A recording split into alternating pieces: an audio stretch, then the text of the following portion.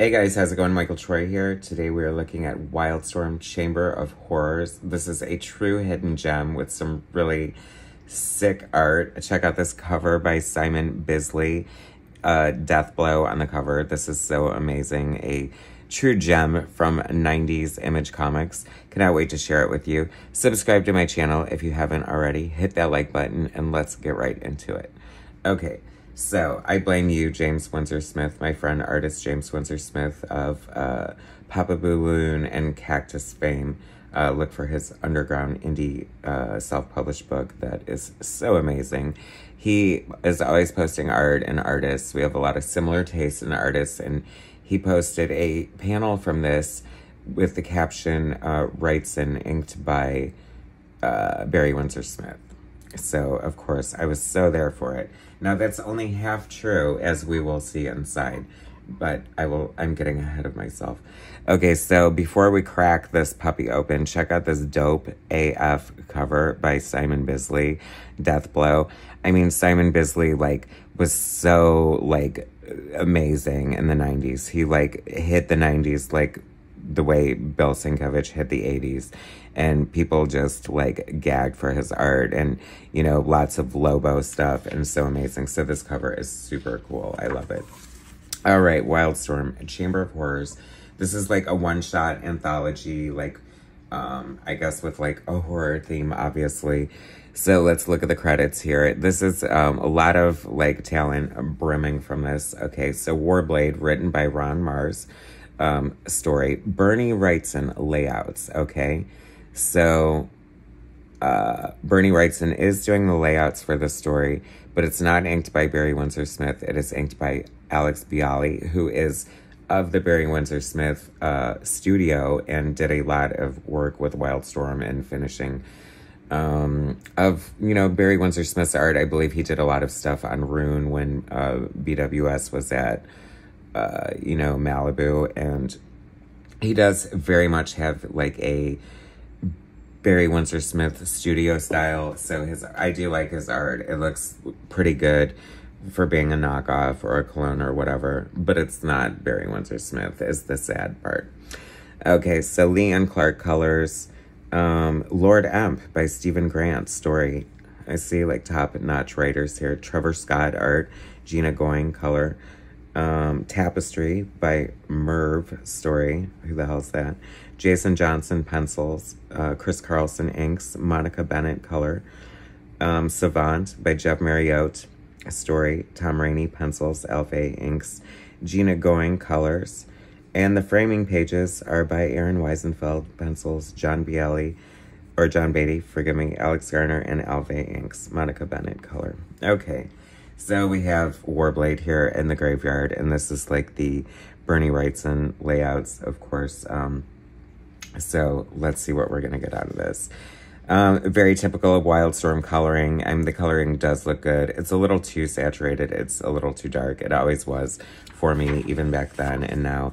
I just think you have all this gorgeous art and you're like muting it and muddying it up with these like super like dark, like way too much shading here. I mean, you're destroying this beautiful art. I would love to see it in black and white. Actually, the picture that James uh, posted was in black and white. And once we get to the panel, you can see why I may have been duped. Okay, but I mean, come on, we have Wrightson layouts here on a Wildstorm book. This is just craziness.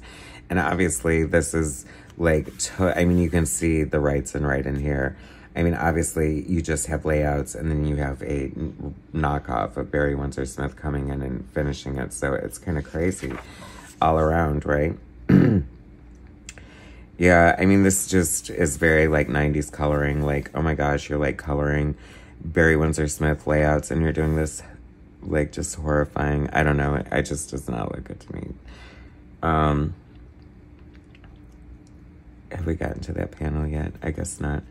But I mean, you cannot deny that this art looks pretty freaking cool, though, right? I mean, obviously, uh, you're not going to be working in Barry Windsor Smith's studio if you don't know how to ink somewhat. And I think this is the panel that James posted that sucked me in because I mean you could easily think that that looks that was uh, inked by Barry Windsor Smith, perhaps. I don't know. I love this page here, this uh, like room that they're in. This is so cool. This is such a great like uh, ending page. I love this so much. I would love to see the original layouts. Um, perhaps they're online. I'm sure they are. Right? Everything is, huh? Um, Lord Emp. The art in here is not bad. This story is kind of crazy. Um, reminded me of a creep show in a lot of ways. I like this panel here. Living in uh, Los Angeles, I uh, always love seeing, um, you know, panels that take place in Los Angeles and that look pretty accurate like that. Looking down in the city, that's uh, from the hills. Uh, that seems pretty on point to me and Emp is on the date with this crazy woman who's it is just so funny. Actually, it just the the story here, let's face it, is not to win any Eisners. Um, but it was still fun nonetheless. I like I like these random like offshoot books and these just like and like fun anthologies for like no reason. Um, you know, a lot of the artists were kind of like this might have been some of their first gigs and stuff. I feel like this is Aaron Wiesenfeld, maybe. Uh,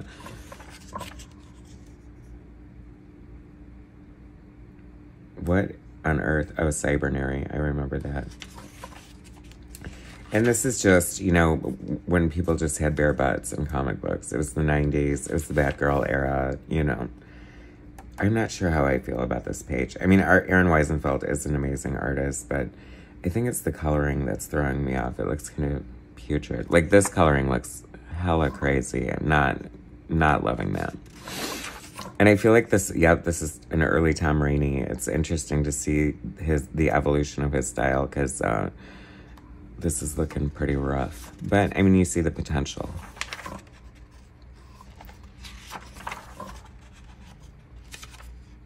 And then Lady Death shows up. I mean, for no reason, I guess. I don't. This wasn't the strongest story in the book. I felt like the other two were kind of better. This is like some weird witch hunt story, and then we get this random like page. Like, give me a break. Like I feel, I feel like they're like, just draw a pretty picture. We'll work it in somehow. Okay, there you go.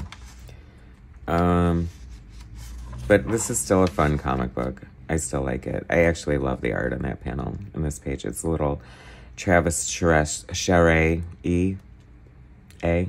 That's a cool page too. Interesting. I mean, the story is just like kind of whatever, but still fun nonetheless. A little hidden gem of the inevitable point in an Image Comics review when I have to turn the book sideways. That's cool. I'm down for this. I would like, oh, I was going to say they should do a new one, but Wildstorm doesn't really exist anymore, does it? But that cover, could you imagine? Okay, so, man, I wonder if anybody has this. Uh, you should go look for it on eBay if you're a Simon Bisley fan. A chromium glow in the dark Simon Bisley poster of this. I mean, I want that, like, right now. How cool is that? anyway, oh, look, live at Golden Apple, my comic book store. Melrose Avenue. Um, one of my comic book stores. Um, because I'm a comic book hoe. Sam Kieth's The Maxx, Gen 13 The Maxx. I remember that. Tom Coker. I love Tom Coker's art. Very cool. Anyway, Wildstorm, Chamber of Horrors. If I recommend this if you're a freaking Bernie Wrightson fan, Simon Bisley fan, horror fan, Wildstorm fan, Deathblow fan. You catch my drift. You feel me? Anyway, thanks for watching, guys. Subscribe to my channel if you haven't already. Hit that like button, and I'll bring you more later.